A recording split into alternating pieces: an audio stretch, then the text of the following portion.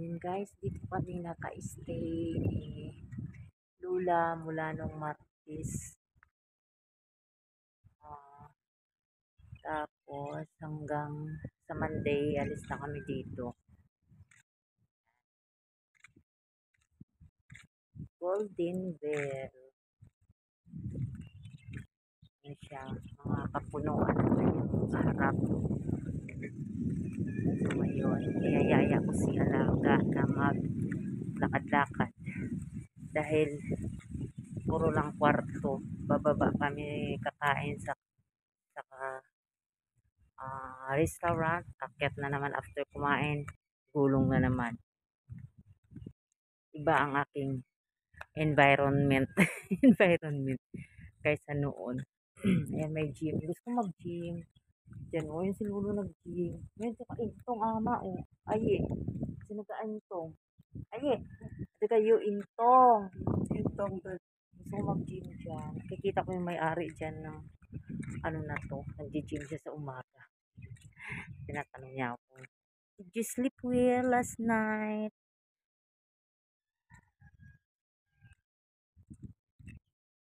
Kaso lang, ayokong iwanan siya kasi baka biglang dumating yung anak. Kasi dumadalaw din yung anak. Baka biglang dumating, Hoy, nagpa-gym-gym ka dyan. Yung nanay ko, iniwan mo lang. Di ba?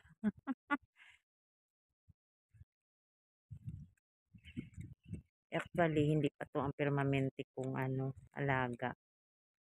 Naguguluhan nga ako kung mag-stay ako sa kanya o hindi. Kaso lang, hindi ko kasi nakita yung bahay nito. Parang probinsya kasi ang bahay nito. Eh, alam mo naman ako, nasanay na ako sa city. Char, city, city girl. Ayan.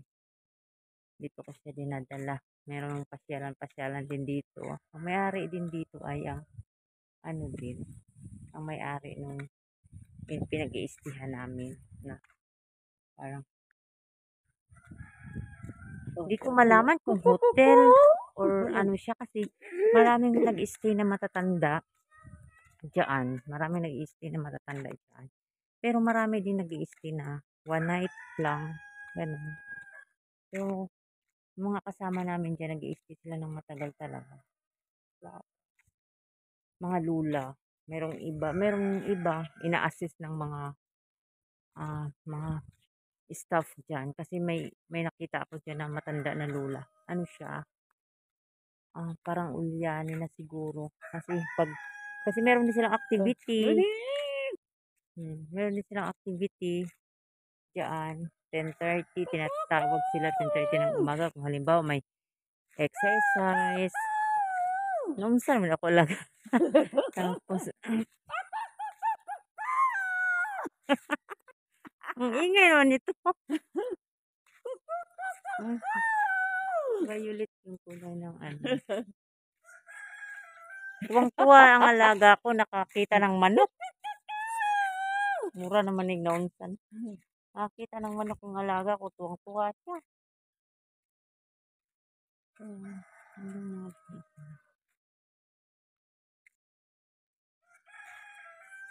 Para Mhm. siyang hinihingal na siya kapag ano, matagal nang naglalakad kami. Parang hinihingal. Kaya, iniisip ko kung mag-stay ako dito, ay ba, ginoo ko, baka na naman, maano na naman. Kasi hinihingal 这里 siya.面也很漂亮的， At saka, 有碗的。 punta daw kami dito. Laro, playground. Ano, mag-playground ka? Hmm. Hmm. Ang gawin mo dyan, magsisiso-siso ka. This is for the siyaw. Para lang yan sa mga bata. Teka, puyaw.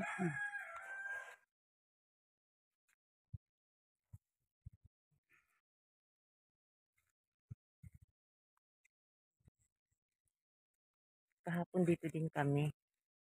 Dinala ko din siya pa half hour bago kami mag-dinner kasi ang dinner is 5.30. Sabi ko sa kanya, tara tara baba na tayo ng maaga.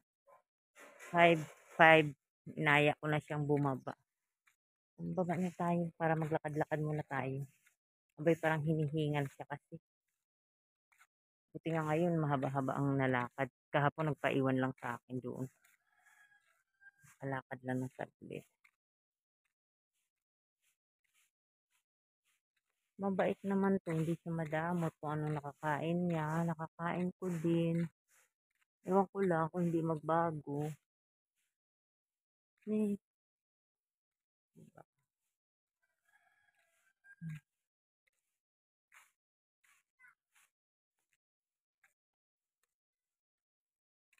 Medyo mas. Medyo mas. Susi na siya. Suko na siya. Susi, susi Upo na siya. Sa, pagod na siya. 昨天有来这里， Te. Alam mo, hindi naman ako marunong talaga ng salita ng Chikwa. Pero nagkakaintindihan na lang kami, iniintindi ko na lang. Sabi niya sa anak niya, tal matalino daw ako dahil naiintindihan ko daw siya. pero talagang minsan ilang minutes bago kami magkaintindihan. Ano kaya tong prutas na to? Pinabalot nila. Namunga na siya, kaya binalot. Ay, ang ganyan. Ano kaya prutas niya?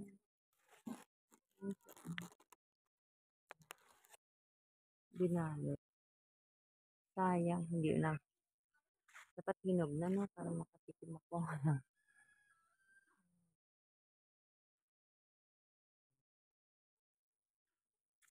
Ayan. Marami akong na ibon.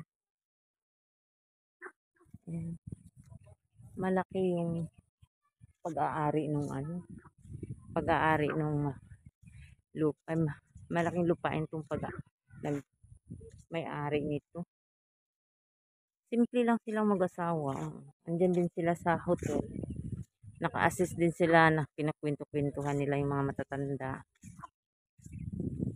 Yung iba nakikita ko nga mag-asawa nandyan eh. Siguro yung mga anak na mga busy. Uy, may tanglad oh. Mga tanglad. May, may talbos. May kamuti. Uy, sarap magsabaw. May, may bunga yung mangga. Hindi ako na pumunta doon. Sarap magsabaw. May talbos tapos ano, magsabaw ng isda. Kasi may talbos tapos may tanglad. Ah. Yan. Rinig ko palaka. Aga naman palaka. Si Alaga. Ayan si Alaga. Mga green. Hindi kagaya dun sa Taipei, yung una kong namatay na alaga ko. Puro lang building nakikita namin doon. Ito, sarap ng hangin. Parang nagustuhan niya ni alaga dito eh. Baka pag aalis na ako sa kanya, mag-stay siya. Kailangan kasi niya ng kasama pa kasi ano. Balikat kasi ang opera sa kanya. Kanya ano, kailangan niya ng ah, pinapapunta niya ako dito.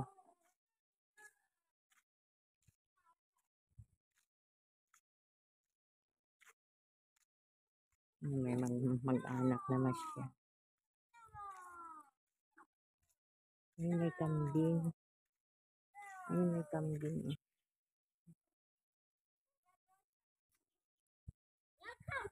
oh. May kambing. Ang lalaki ng kambing. Hmm.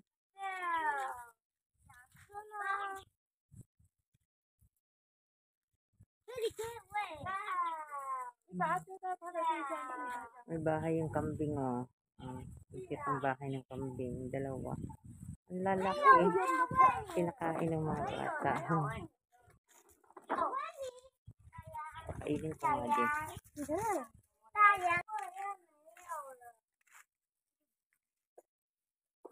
Ayaw lumapit sa akin.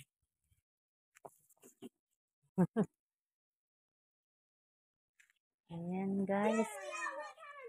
Silip na tayo dito. May mga taniman. Ah. Ang laki ng lupain ng may-ari dito. Ayun, may mga tanim na gulay, mga sitaw. Ayun, may mga kamuti. Sarap manguha ng talbos. Saan ko naman lulutuin? Bawal naman manguha ng manguha dito.